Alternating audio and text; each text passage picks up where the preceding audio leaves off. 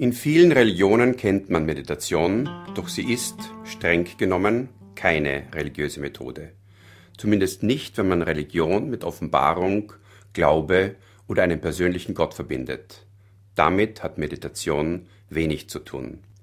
Wenn man Religion auch als Erkenntnisweg sehen kann, so wie in den meisten Richtungen des Buddhismus, wenn man Religion als Suche nach dem Ursprung deutet, ist Meditation sehr wohl eine religiöse Methode.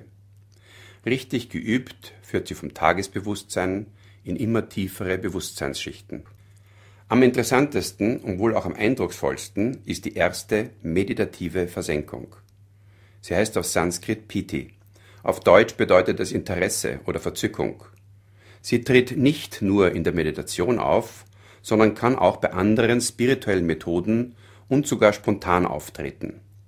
Marathonläufer kennen Sie, der Mönch in seiner Klause, ein Wissenschaftler oder eine Köchin, die sich ganz stark auf ihre Arbeit konzentrieren.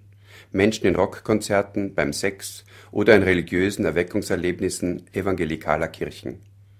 Das sind ganz unterschiedliche Tätigkeiten und Situationen, zwischen denen keine Verbindung zu bestehen scheint. Ihnen allen ist nicht ein Gotteserleben oder andere religiöse Zustände, sondern eine starke Konzentration gemein.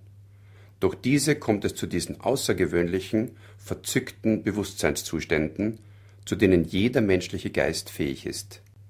In der Einsichtsmeditation lernt man sie bewusst herzustellen. Treten diese mystischen oder ekstatischen Zustände spontan im Rockkonzert, bei evangelikalen Gottesdiensten oder beim Sex auf, wissen die Beteiligten nicht, wie sie sie hergestellt haben. Sie sind dann quasi eine Nebenerscheinung der starken Konzentration auf nur diese eine Sache. Über die erste Versenkung führt die Methode in die weiteren und tieferen Versenkungszustände der Meditation.